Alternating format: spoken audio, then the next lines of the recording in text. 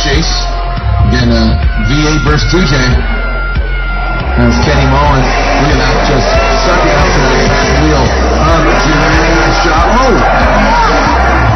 Is he struggling some speed there as Jimmy goes off course. So now we need to see what to the bank.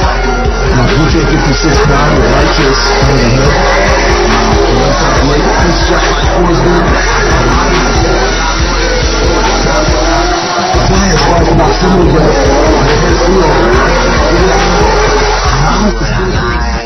There in the top 16 introduction.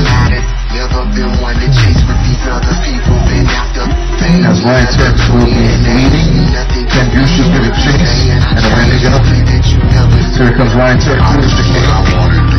This is the first run of this one more time battle on the floor. Top 16 as Ken Gushi gets that proximity. Man, these guys are just almost mimic each other, which looks so cool. Two the same vehicles. Oh,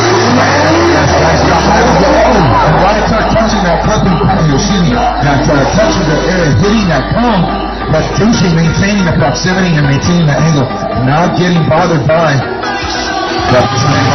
Listen to St. Per VES 14.